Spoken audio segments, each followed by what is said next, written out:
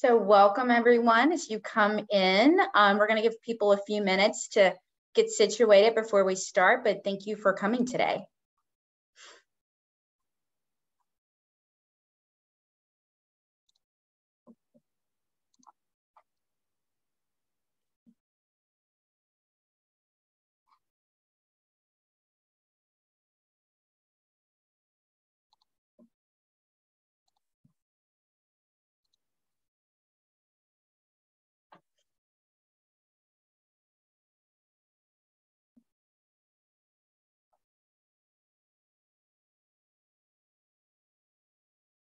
Give it about one more minute and then we're gonna kick off.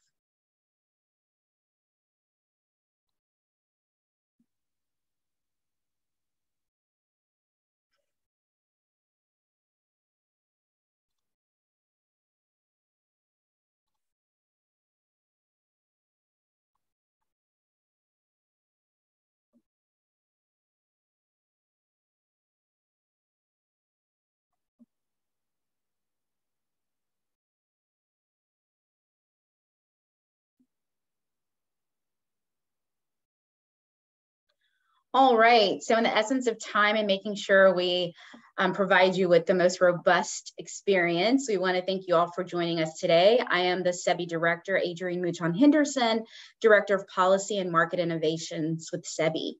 Um, this is our second installment of CEBI's Markets 101 series, known as the Sebinar. Um, and today we'll focus on transmission planning. Today I'm joined by with Kimura, Kimura, there you are on the screen. Kimura King, she's our CEBI Associate, uh, Market and Policy Innovation, along with Mike Ben, who I especially want to thank for providing us with his time today. He's from Microsoft and he's a Senior Program Manager at Energy Markets and Policy. So there's Mike up there, everyone. He's going to have a really robust conversation with you today as well. So a little housekeeping and also Heidi, also Heidi Raz with CEBI. Um, the housekeeping today is we want to do is we want you to feel free to input any questions. We're running a, a question and answer session, which is going to be at the very end of our programming. We want to reserve that time um, so that way we have ample time to answer your questions after we get through the materials. Um, additionally, we have some tech assistance. If you need anything, please reach out to Heidi. Um, Heidi is hras at cebuyers.org. And then also this is recorded. So we'll be sharing this on our website and also out with people who were able to view today or have uh, specially requested that we send them a copy. So the agenda today is as follows, and then I'm gonna turn it over to Kimura to kick us off, but we're gonna do an introduction to transmission planning, go through the regulatory and policy implications on transmission, give the customer perspective by Mike Ben, um, and the importance of transmission to him as a customer, and then have a robust discussion and question and answer period. So we hope you enjoy, sit back and listen, and please make sure if you have any questions to put them in the chat for us. Um, Kimura, I'm turning it over to you. All right, thank you, Adrienne, and hello, welcome everyone. So before getting into content, I do want to first provide a little bit more background information on CEBI. CEBI is a public benefit institute dedicated to solving the toughest market and policy barriers to achieving a carbon-free energy assistant, uh, system.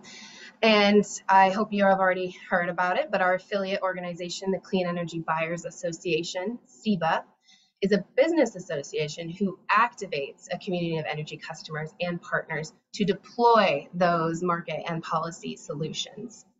And collectively, these two orgs, referred to as the Alliance, have a shared 2030 aspiration of a 90% carbon free US electricity system, along with a global community of energy customers really driving clean energy develop, um, deployment. So I do just want to take a special moment to give a shout out to CEBA, who is actively working on ensuring the customer voice is in important transmission planning um, developments. Uh, they did just, CEBA did just submit initial comments to the Federal Energy Regulatory Commission, FERC, notice of uh, proposed rulemaking on regional transmission planning. If you're interested in what those comments are, you can see um, some uh, some insight from the, the from the two articles that Heidi is putting in the chat.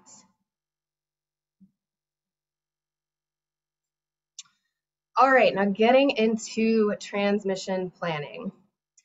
So to first preface, most of what I and Adrienne will be saying and far more detail can actually be found in our CEBI electric transmission planning primer.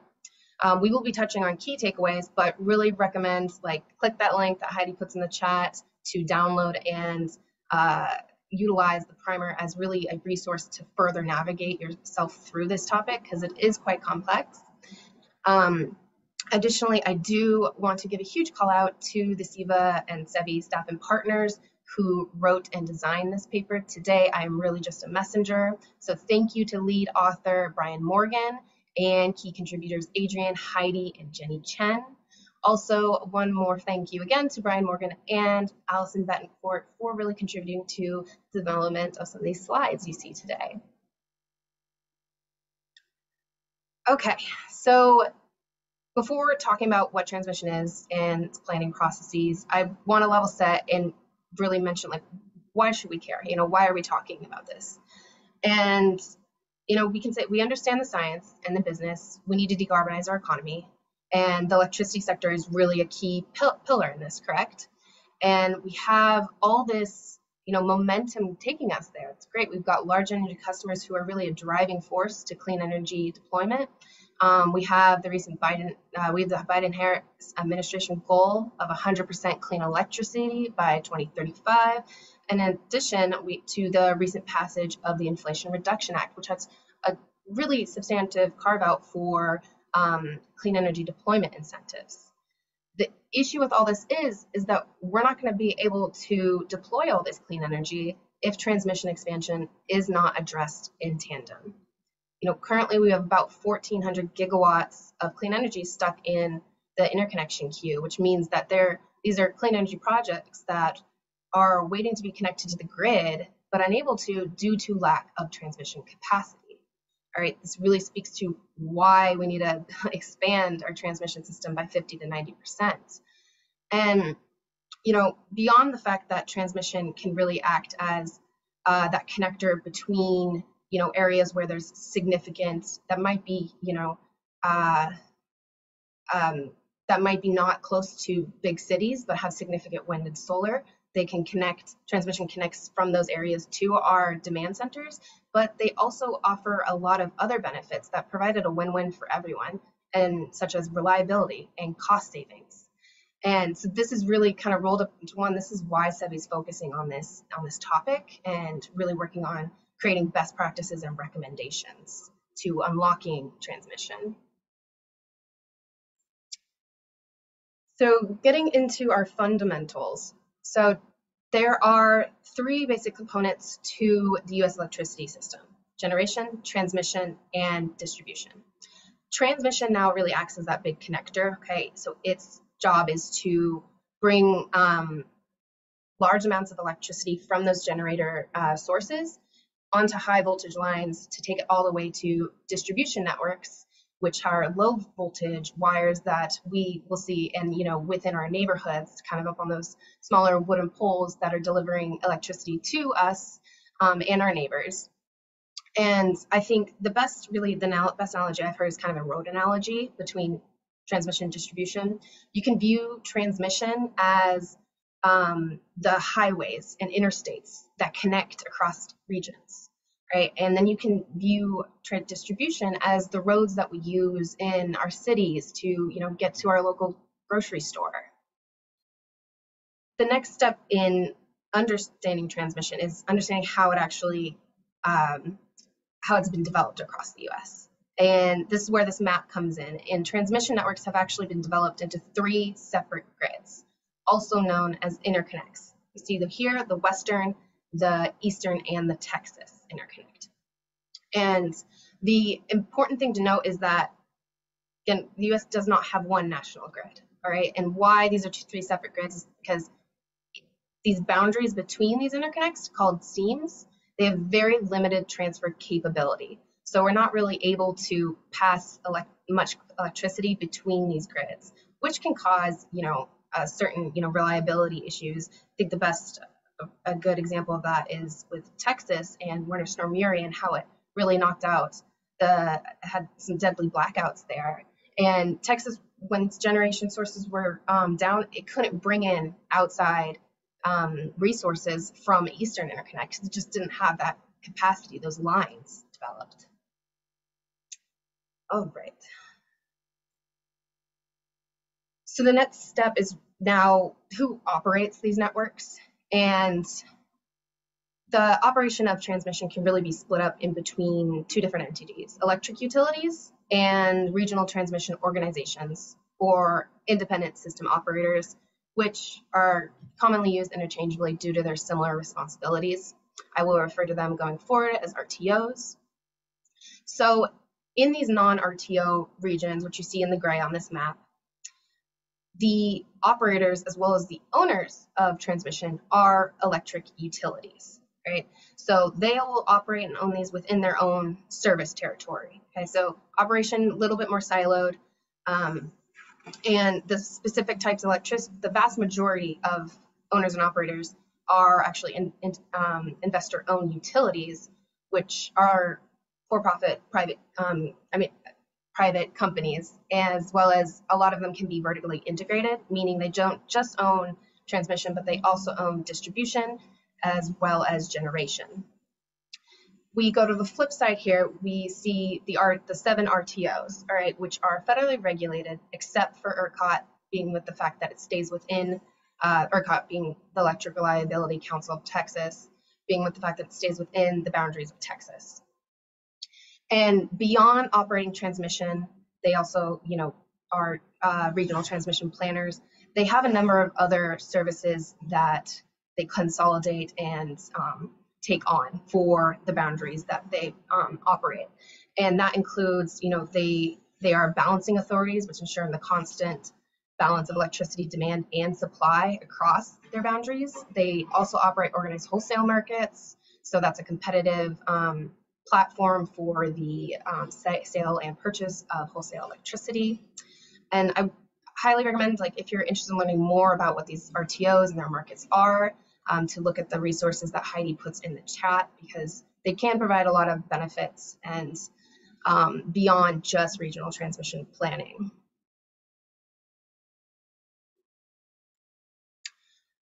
So next step I want to touch on is how and why transmission is built in the US. And the how is put down to four components known as the four Ps planning, permitting, paying, and participation.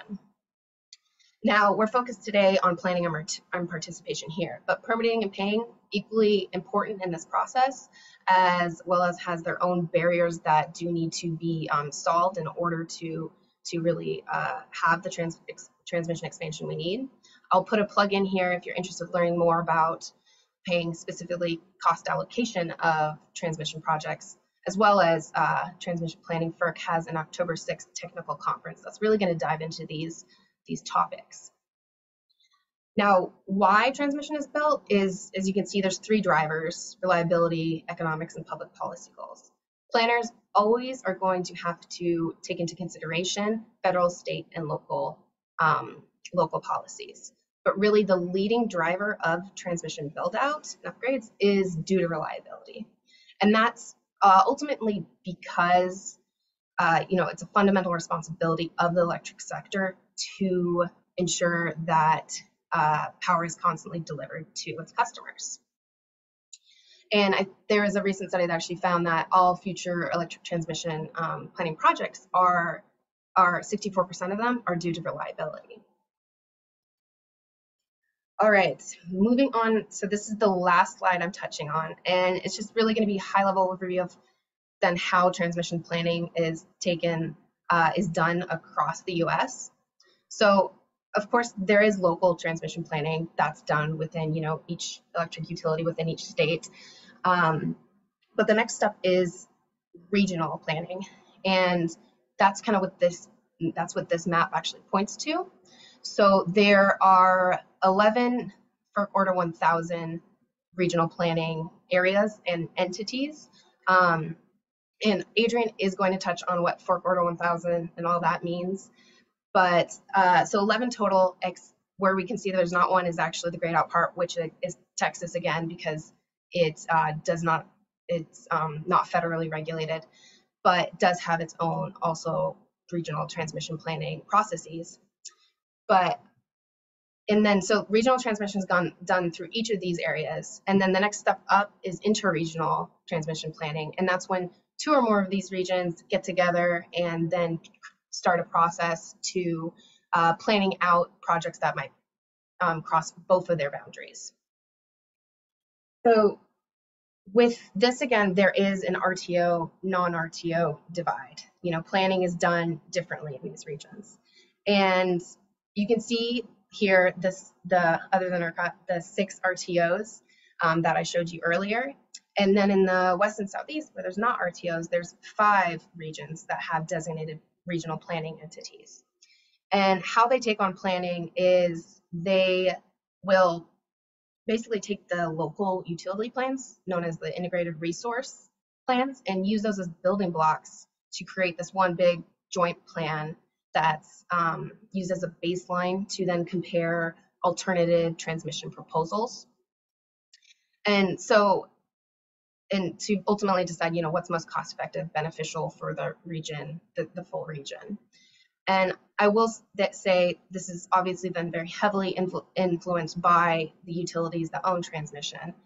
Um, on the flip side, if we go to RTO regions, RTO regions do take a little bit more holistic and transparent approach with the fact that they have some uh, set stakeholder processes and uh, they incorporate input from a broad base of stakeholders. So this is actually where you know customers can get involved.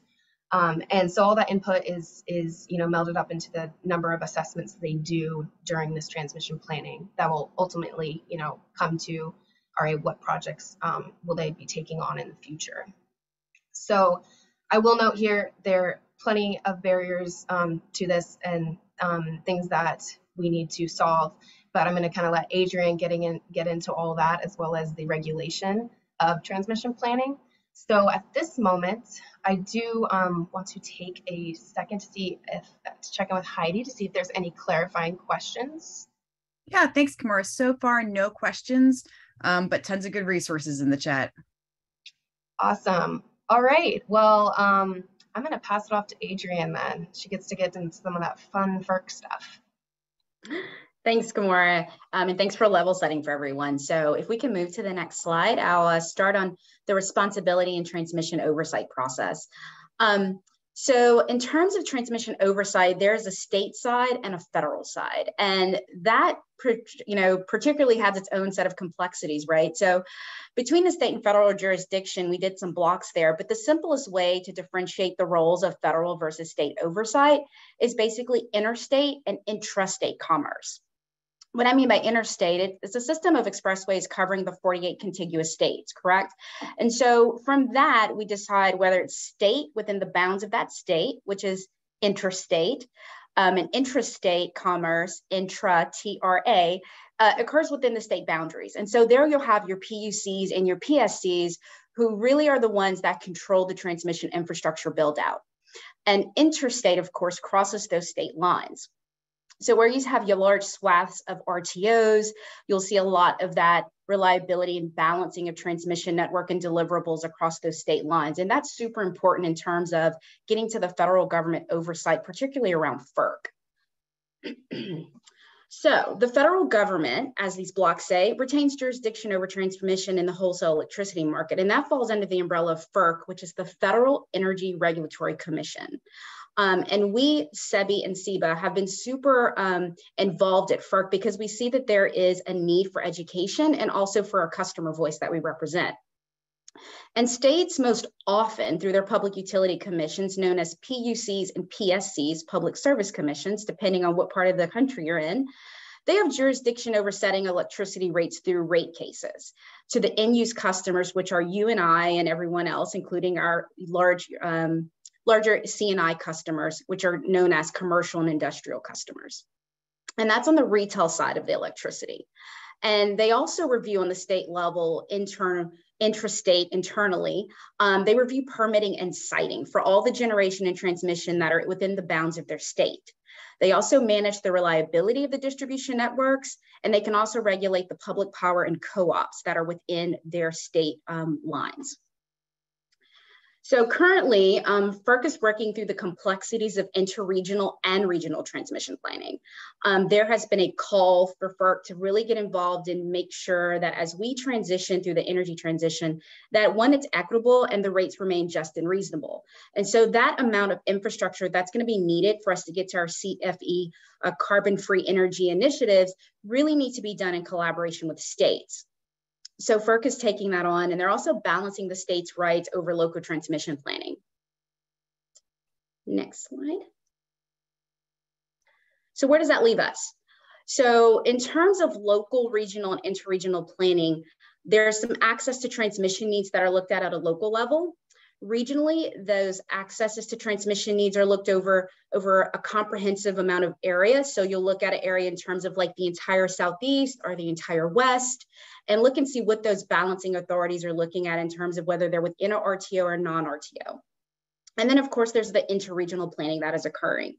And that's your neighboring transmission planning that occurs from region to region. So it's a really complex set of um, initiatives that FERC is undertaking. We did file a set of comments in order to, to really mesh together what our customer needs are nationally, but also, as you can see, those there's a lot that goes into transmission planning. So um, pretty complex. Um, we put some stats down at the bottom which shows that 40% of North American transmission lines planned through 2030 will only be between 10 to 50 miles in length. So imagine that going across a state, imagine a drive that you're taking, those 50 miles is about all that's there. And so the amount of transmission and the infrastructure that's needed is quite complex and quite expansive.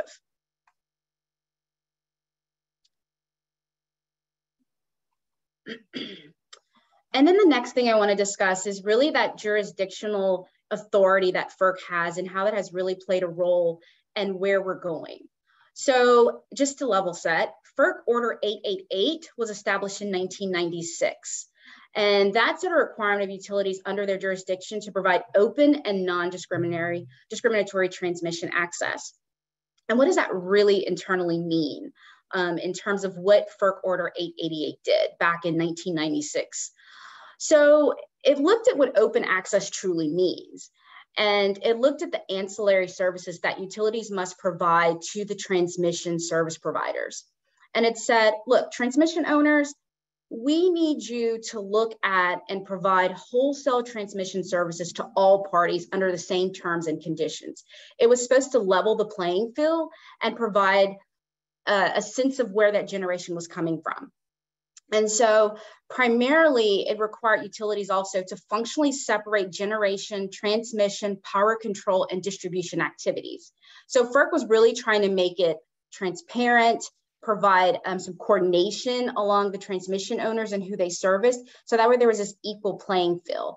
Um, and it found also that costs that were not being um, separated out properly were becoming something that ratepayers were taking on in, in large um, measure. So it really did set up a really foundational setting for where transmission has evolved to. In terms of FERC Order 890, it was enacted in 2007. And what it did was it really directed transmission providers to follow nine transmission planning principles and to implement a coordinated, open transmission planning process in which stakeholders, such as ourselves, um, could help really with the planning process. And it was provided an opportunity to provide early input on transmission planning development so that ahead of time before these were filed with FERC, that those issues that would probably arise at FERC from interveners, that that would be addressed. And it worked for a while, but as we started to evolve the process and add additional things onto the system, it started to show that there wasn't sufficient planning that was going into it and that transmission planners had to disclose more planning studies to really say that why this um, particular infrastructure needed to be built out in the manner. So FERC said, you know what, we didn't quite get it right, so let's go back and look at it again. And they did that with Order 1000, which is uh, was done in 2011, and it was an expansion of Order 890 and it established 11 planning regions to carry out regional and interregional planning requirements. Um, it required um, IOUs, which are investor-owned utilities, transmission owners, um, and regional transmission operators to participate in a regional transmission planning process. And it had to satisfy seven planning principles. And those principles were supposed to establish a basic framework for the build out of transmission in a more inclusive manner where Order 890 had missed the mark. And so looking at that, there's a what else did we miss? What metrics did we do? What metrics did we not scope out properly? And so FERC said, uh, I think we still need to go back and look at this and let's look at cost allocation in order um, 1000 because we didn't get to really scope it out well in 890. And so they did. The problem is, is that still created some loopholes if certain projects um, fell under a certain mark in terms of building. So here we are again in a rulemaking to fix order 1000 because there were loopholes that were created whereby projects were going through state PUCs because they weren't at a certain money mark amount. Um, and so currently we are in the rulemaking 21-17. Um, it is looking at interregional planning in a more holistic manner. It is providing stakeholders such as ourselves um, and our membership to have an opportunity to really get to the core of making sure that new technologies are accounted for, um, and additionally, also making sure that the regional planning process is holistically going to provide for the energy transition. And one of the things that we supported in the rulemaking was a 20 year horizon. So 20 year forecasted outlook for load growth based upon projections that we see. And that in itself is going to be pretty monumental in terms of FERC taking that stab at looking at what is next to really get us to the next level of what transmission build out needs to be for us to build out in a holistic, cost effective, and sustainable manner. So could we move to the next slide, please? So what is going on with transmission and why has there been so many orders at FERC and so much complaints from states in terms of wanting to keep their authority? I will say that locally, regionally, and interregionally, transmission has been being planned, but it just hasn't met the mark. We are so far behind in what we need in terms of transmission, in terms of capacity, in terms of infrastructure, in terms of cost methodologies. And so um, there's been many obstacles faced. So we really applaud FERC for taking a, a really monumental step forward to say foundationally, we need to improve our system. So the planning is reactive. It has not been proactive. And so we're trying to get that 20 year horizon is, is something that shows that we're really proactively looking at the challenges of transmission and what the needs are going to be for the next 20 years. It won't be perfect, but it can be better than what it is. And what we mean by that is like, what are the drivers that are asking us to say we need this build out of transmission? The extreme weather, um, climate change, all of those things we want to provide with reliability and resiliency on the system. So that way, when we go to flip the switch, not only do we have lights, but we also have a strong electrical grid. So also we're looking at why planning has been so siloed by project type and utility service territory. And Mike is probably gonna speak to some of those challenges that as a customer he's faced. And then also the backlogs. The backlogs are extremely significant. And what we mean by backlogs, we mean backlogs and interconnection.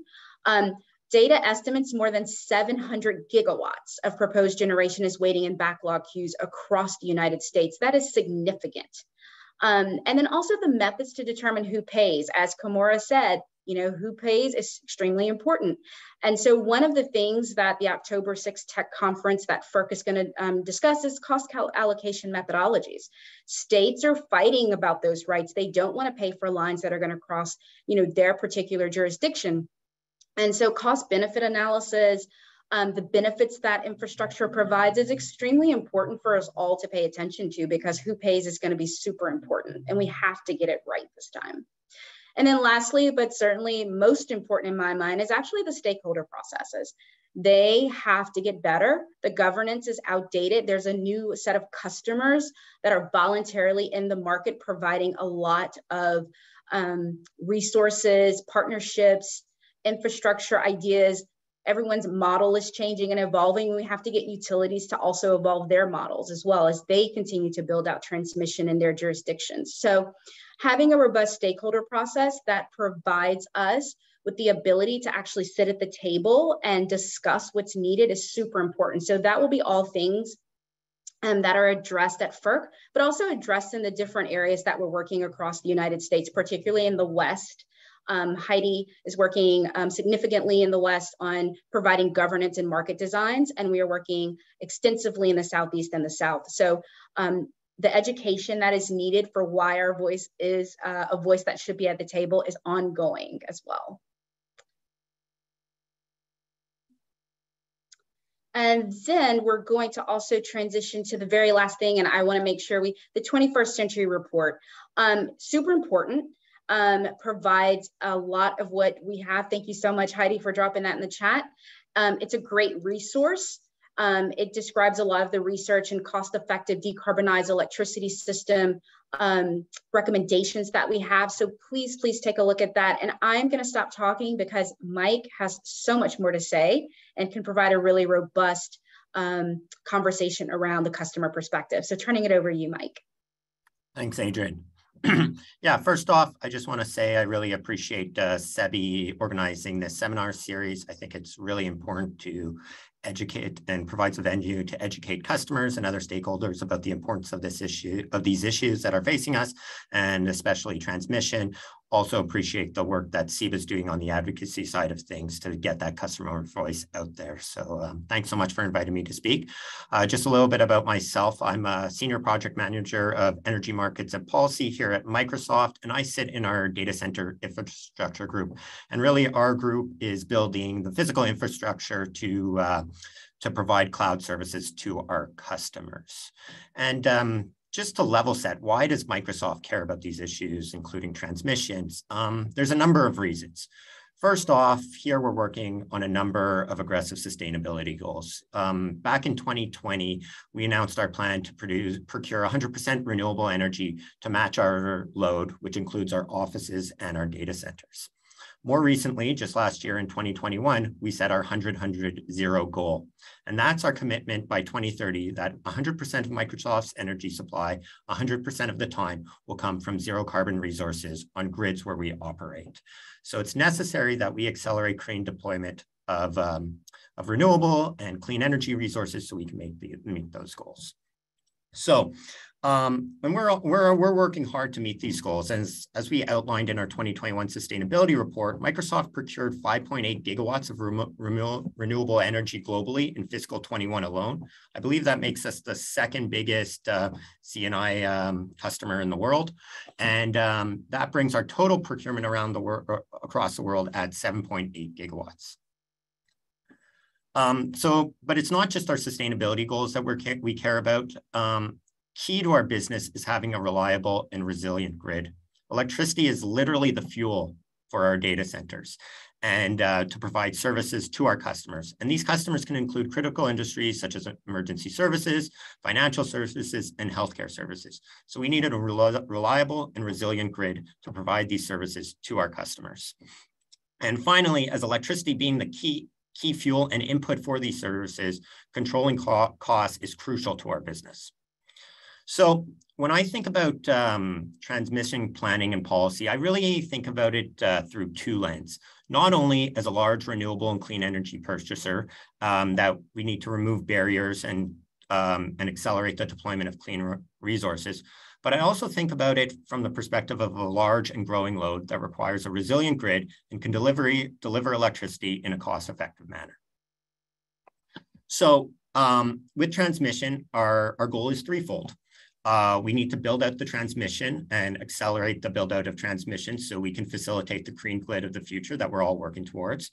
We need a reliable and resilient grid, and we need to do both of these things in a cost effective manner. So there's a number of barriers facing us right now. And uh, as Adrienne and Kamora touched on earlier, it's really traditionally the US grid, generally speaking, hasn't been designed in a holistic manner to get electricity generated from faraway resources to, to load. Um, generally speaking, it's designed, been designed bottom up at the utility or the state level and has been focused on local reliability needs. And, you know, traditionally you could locate thermal resources fairly close to, to load. Um, you know, as the grid continues to evolve, these we need more interregional connections so we can get faraway resources such as wind and solar to the load centers, often on the coast. Um, additionally, for our own goals, we're seeing immense backlog in the interconnection queues. There's not a day goes by where I talk to our renewable procurement team about these issues, and it creates delays in our procurement, increased costs, and slows down the deployment of clean energy resources. And it's not really surprising that there's these immense backlogs in the interconnection queue process. You know, when these processes were designed, I don't think regulators or RTOs or planners really expected the amount of clean energy to, that's waiting to come online. It's really been changing a new problem that needs to be overcome. And then finally, you know, for a variety of reasons, um, there's been a limited investment in interregional transmission. And um, I was really, uh, you know, it's really impressive that stat you put that uh, I think it was 40 or 50% of the transmission built recently is only between 10 and 50 miles. So just like a local road, we're not getting those multi-state interstate highways built. Um, you know, but not all is lost and progress is getting made. Um, you know, recently passed, there's the Inflation Reduction Act with, uh, you know, tons of incentives for clean energy deployment. And I've seen modeling that's going to show, you know, overnight that there's going to be an immense build out and investment of clean energy. And this is a really encouraging sign, but but it's not just a, a penny, panacea. Um, you know, there's other constraints, supply chain issues that we're dealing with that many people are familiar with, but also transmission. If the transmission system isn't there, you know, I'm worried that the Inflation Reduction Act and the incentives contained within it might be might be limited. And also, if we don't have interconnection queues, well, we're still going to be held up despite the decreasing cost to build renewable energy with our projects being tied up in delays uh, into inter interconnection queue processes. Um, um, and it's not just from um, transmission is important to Microsoft, not just from a renewable procurement side of things. It's also from a load side of things. Uh, just recently in Virginia, our largest uh, data center region, possibly the largest data center region in the world, there's been transmission capacity issues there. And uh, we're seeing a moratorium of new um, transmission capacity requests in that area. And this is a big deal for us and other data centers who operate in the in the region. And it's really a, an economic development story. There's billions of dollars in investment that's getting delayed in these regions because there's not sufficient capacity, transmission capacity to support that load growth.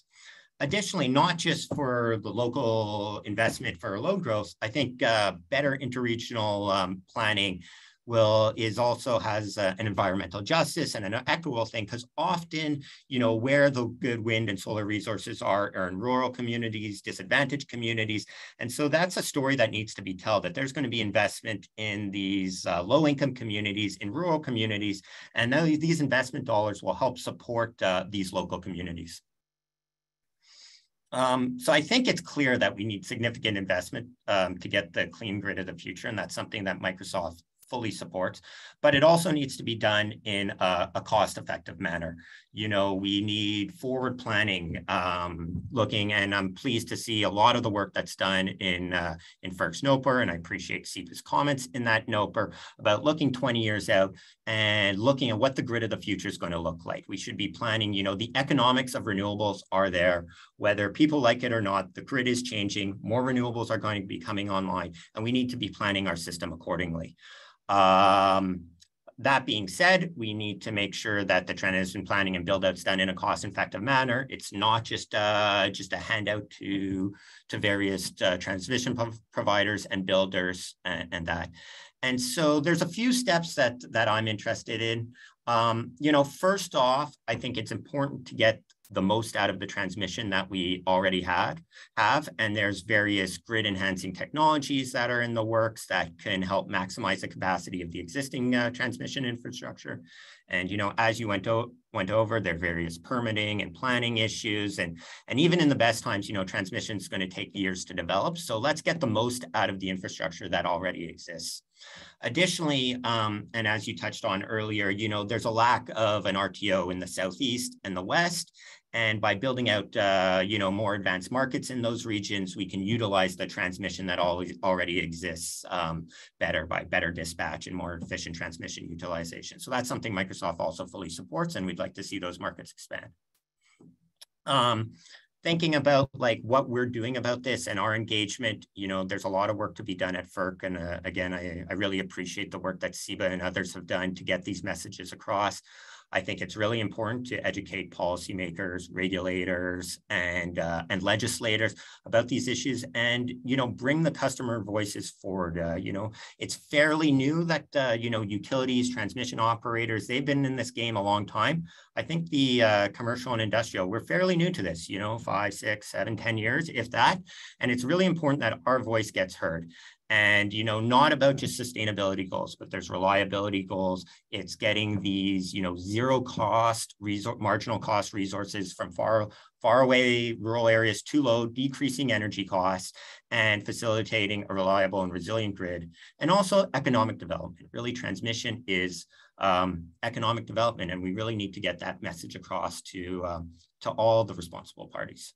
So um, so yeah and i'd also like to highlight um, you know, for, there's obviously state and federal jurisdictional issues and the politics around that.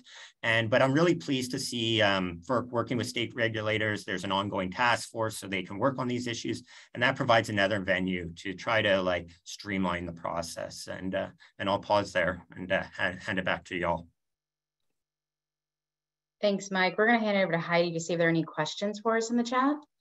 Yeah, there are actually, um, but keep throwing more in. We have maybe 10 minutes to, to work through them. Uh, the first question that came in um, actually dovetails nicely with what Mike was just saying. It's this question of what can customers do to support transmission expansion and current reforms? Um, so I know you already mentioned elevating the customer voice, educating policymaker and decision makers. Is there anything else you want to add to that list? Yeah, I think I touched on that, right? And I think like we're a new, new and growing voice, and it's and it, it's a, it's a multi pronged approach, right? Our goals are our goals, and we're going to be working towards these sustainability goals. But it's not just about sustainability; it's about building a resilient grid for all users, a reliable grid. Um, you know, building transmission um, with climate change and extreme weather events becoming more common, right? Transmission can help um, provide more reliable sorts, uh, services and economic, and it's really an economic development story and really getting that message across. And as um, Kimora highlighted, right, like I think it's very obvious uh, from the events from Winter Storm Uri in Texas.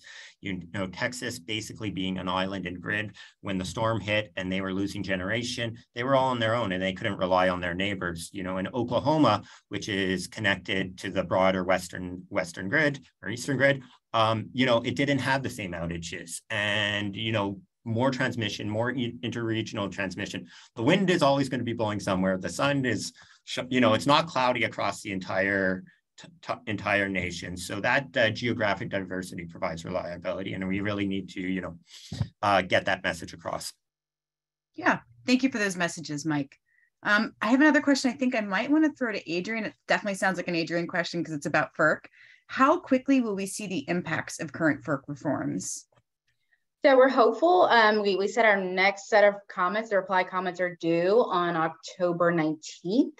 I'm sorry, September 19th. And so um, there'll be a window of whereby, you know, we've got about 30 days to swallow them and figure out what everybody else replied on. But we'll definitely probably see something in 2023. So there'll be some uh, implementation process around that time. Um, so, you know, we've got uh, 200 plus people that filed initial comments at FERC. So that's a lot for staff to go through.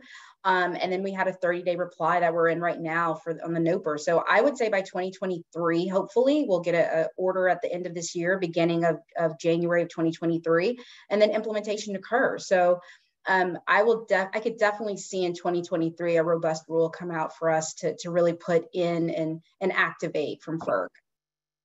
So super excited about that. Yeah, thank you, Adrienne. Um, I'm getting low on questions, so if anyone has any more, now is the time to get them in.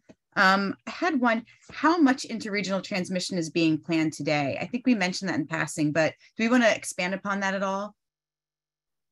And I open that up, up to any three of you. Sure, I can go quickly and I'll hand it off to uh, Adrienne and Kimora, but uh, not much is the answer.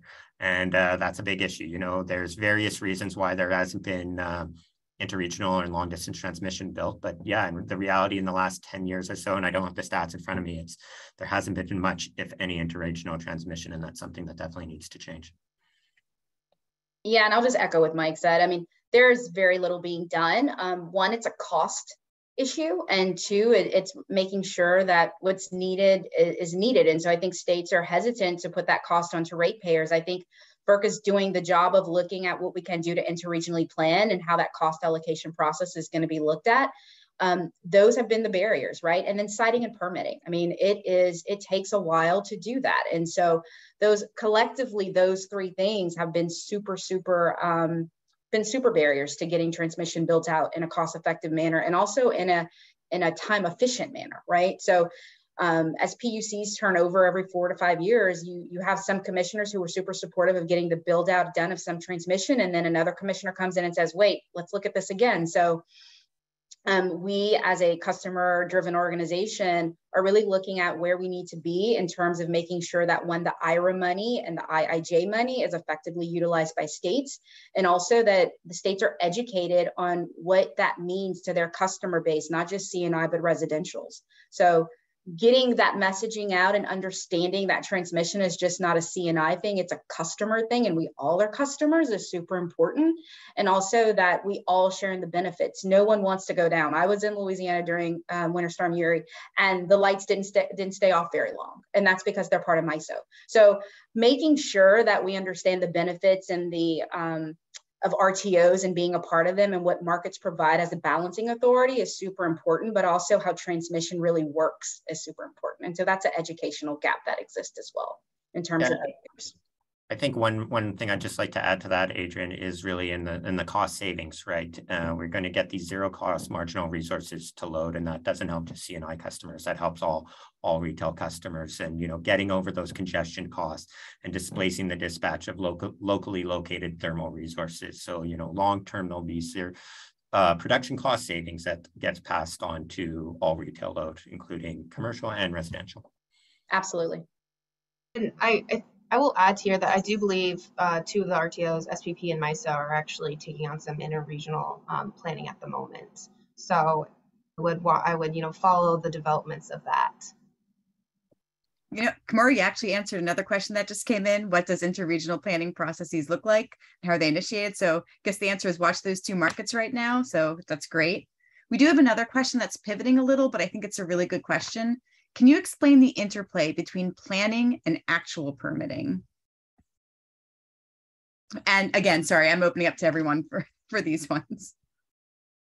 Yeah, so I, I, will just kind of do a 30 second. So planning is part of the process. So um, you know, transmission providers do do a robust planning period. And, and part of what they're doing at FERC right now is looking at what that planning process entails in terms of potential load growth and looking at it beyond just this one year to five year span that they usually do. Um, and, and so adding that, you know, additional you know 15 years to that 20 year planning is super important and what that does also is it says you know what we have this amount of transmission we need to put on the system for the expected load growth and they go through a permitting process and that permitting process is really where the red tape starts. A lot of bureaucratic and political um, players involved in that. And so you know permitting you could think of it as something like you know when you get a permit to build your house um, there is a process. You know you have to get your plans. You have to make sure they, that you get the right people to look at it electrical and there's a lot of different things that go into transmission. And so it is a process and that process right now is taking many more years than it should. Um, and so we just want to make sure that when we do do the build out of transmission, that we do it in a manner that is cost effective, but also in a more expedient manner, right? And so we've got goals that run from 2025 for some of our companies and then 2030 for CEBA as a whole. Um, and then the United States themselves have their goals, right? And so we want to make sure as a country we're meeting the needs that we're, we're wanting to get to, especially for our CFE goals. But um, you know that that's the process. It's like building a house. There's steps to it and those steps are taking a lot longer than we believe it should. And so we're trying to be drivers and accelerate that process in in a manner that um, has more stakeholder input but also doesn't tread upon states rights because you know we're very cognizant that they are parties to this and their voices are equally important. Yeah, uh, uh, just to add to that, I'd just like to applaud that in the IRA, there was money appropriated for transmission planning and siting. And as Adrienne mentioned, you know, planning and siting and permitting needs to be streamlining, but it has to be an inclusive process and, you know, not stamp, not, and, and that's a difficult balance to do. I'll, I'll, I'll acknowledge that. And, uh, you know, these two things may seem to be in conflict, conflict with another, but it's important. And, you know, environmental justice has to be part of this energy planning uh, during this energy transmission. Okay, well, thank you panelists for all those great answers and thank you audience for all those great questions. I'm sure there's still maybe more that might follow up in the future. So I'm going to put Kimura on the spot and give you her email address. If you have any additional questions, please reach out to her. Um, yeah, so with that, Kimura, is there anything else we wanted to walk through? I know we wanted to wrap up a little bit before the hour to give people space before their next call. No, I think we're just going to close out now. Um, Adrienne? Sure. So thank you all for attending today. And our next steps are that we have another CEBI installment on September 20th. We're going to take a deeper dive into transmission because it couldn't get more fun than today. Um, and really want you to look at potential reforms with us that support large energy customers' demand for clean energy. Um, so we're going to drop that registration link here in the chat. And also we want to say that the white paper for on transmission planning went live today. So please download it and share with friends. Um, it is a great read um, and it'll also be found in our FERC reply comments. So thank you for joining us today and I hope you enjoyed it. Thank you all. Hi all. Thank you.